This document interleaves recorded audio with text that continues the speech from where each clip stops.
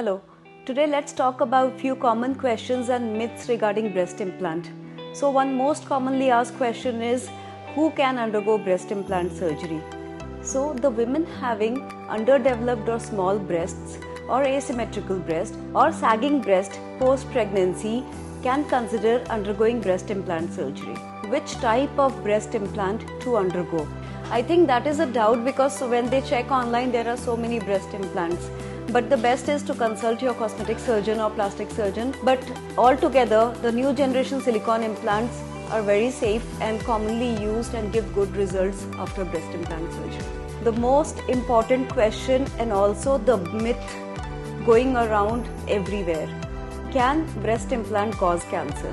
Having an breast implant surgery will not increase or decrease a risk of cancer in any woman. In past, however, there has been a report of very minute percentage of women having cancer that is lymphoma post breast implants but that those implants have been already taken off from market those are not at all available now the new generation implants which are available they do not cause breast cancer best will be to talk to your cosmetic surgeon in detail about this doubt or myth and then go ahead with your implants with full confidence.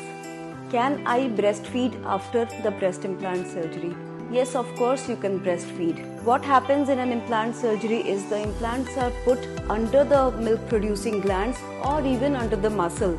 So, in the course of the surgery or afterwards, your milk producing glands are absolutely untouched. So, your milk producing capacity from the breast is not altered ever after a breast implant surgery. So, yes, you can definitely breastfeed after your implant surgery as well.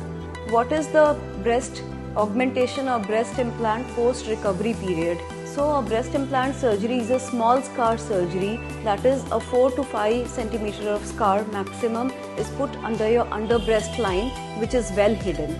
The stitches after the surgery need not any removal, they will absorb on their own. You may need a rest for 2 to 3 days and there will be swelling post surgery that will also remain for 2 to 3 weeks. But you are good to do any normal day to day work and normal routine activities after one week of breast implant surgery and also completely normal routine activities and even exercise after 4 weeks of breast implant surgery.